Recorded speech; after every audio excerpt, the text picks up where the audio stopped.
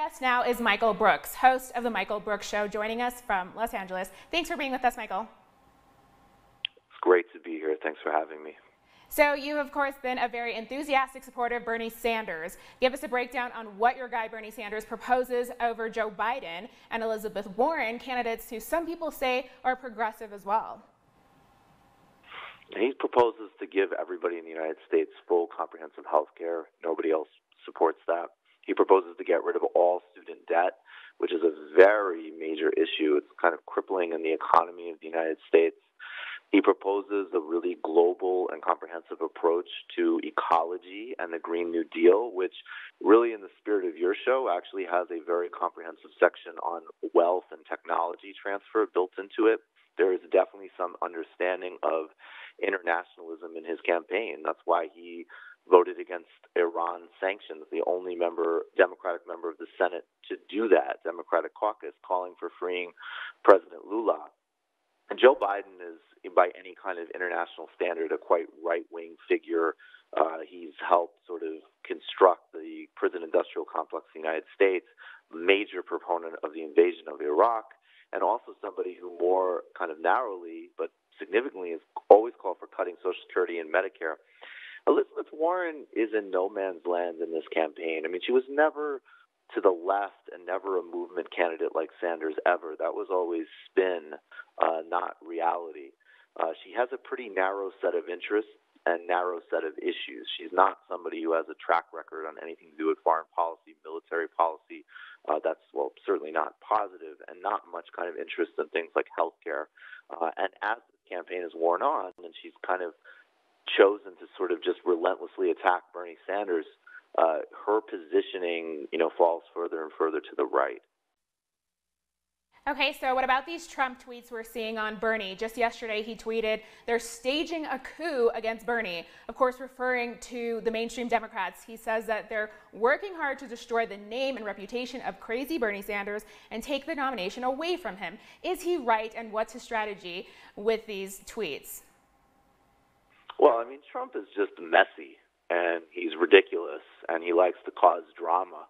Uh, and I think he ha- he does have an instinct of people's generalized disgust with the establishment, for lack of a better word. Now, coup, I don't, I wouldn't use that word coup yet.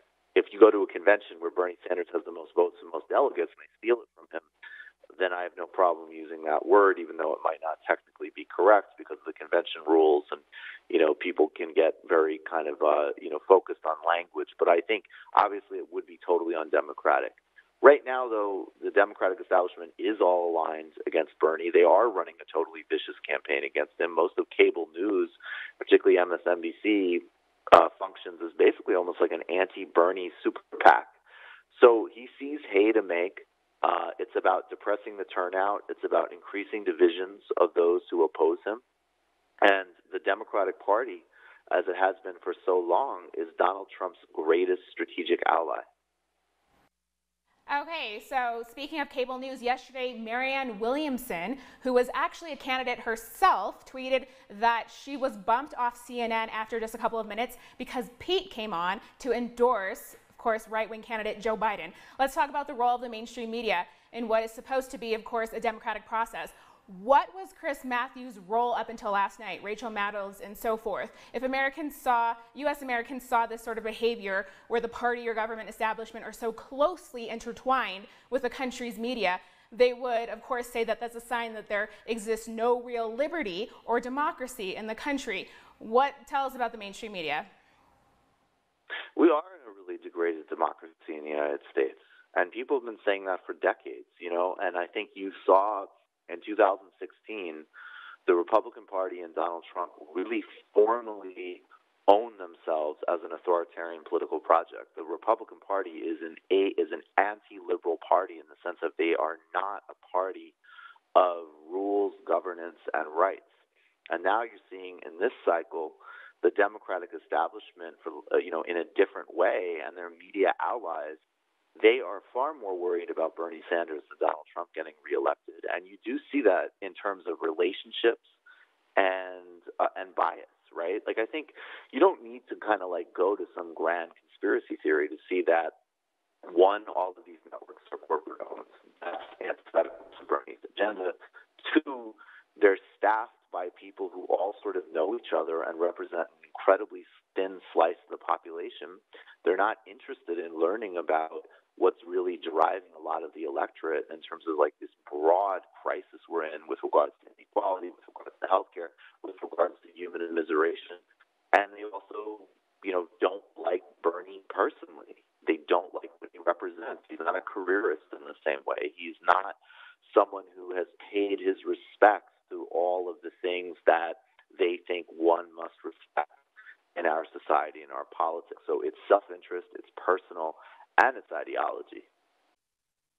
The establishment war on candidate Bernie Sanders, but there's also a lot of people who refuse to excuse Bernie's remarks on what many of us to believe to be the real democracies and the real socialism of the global south. Sanders has a soft imperialist progressive, is a soft imperialist progressive at best, a lot of people say. What is your response to that? I think we've got to be really careful about what we actually mean by that, right? So I think one is there is legitimate differences that people can litigate about how we think about the nature of Chinese governance, as an example. And I think there's legitimate disagreements on that, and it would be you know, wrong to not acknowledge that. Then there's times where I I I personally disagree with a, a line that Sanders takes on certain issues, uh, although even when he's saying something, like even when he's giving more credence to uh, talking points on Venezuela, as an example, this is still a candidate who is running for president of the United States and can win, who opposes the coup there. So I do think that there needs to be some calibration that people have between what people can say with media platforms and what people can say in certain very specific contexts versus somebody who is trying to major. So you've made an appeal to your social media following to do everything you can to go out and vote, door knock, call, and text. What are U.S. Americans going to do when we find out that once again a U.S. electoral process is rigged and that Bernie and his supporters got the shit end of the stick? Well, I don't know what's you know what that's going to mean, right? Like I think again we need to be really clear. If they go into a convention and he has the most votes, the most delegates, then and they don't give it to him, then yes, that's a whole other escalation. What might happen today, and it would be a tragedy for this country and the globe, would be if, you know, this fear mongering, this coalescing around the right wing of the party knocked this movement back. And then the answer is I don't know right? Like I, I think we cannot retreat to sort of like revolutionary fantasies that don't have a context yet inside the US political system. But I also think that it would start to answer some really serious questions we've been asking. People have been saying that for all of the flaws and all of the limits of, first of all, the Democratic Party, obviously, and the broader uh, US electoral system, that there was this opening with Bernie, and there is this opening with Bernie. If that's shut, we're going to need to have a major strategic rethink. And I think this is hitting a lot of left wing projects across the globe. You know, even someone like a President Lula, who succeeded and did so much and was conciliatory to the extent that he was willing to make alliances and compromises with the forces of capital, he still falls victim of a coup. I just think that that it will require a very big rethink. But I think we're not there yet. And I actually think that the momentum is still on Sanders' side to win very major states. And we should recognize that it's not just us. We're, you know, freaked out because we're used to being on the receiving end. But they are in a serious panic and they are throwing a Hail Mary pass. And I think it's too late for them. Absolutely. Thank you so much. We've been speaking to Michael Brooks from Los Angeles in Los Angeles right now, host of the Michael Brooks Show. Thanks a million.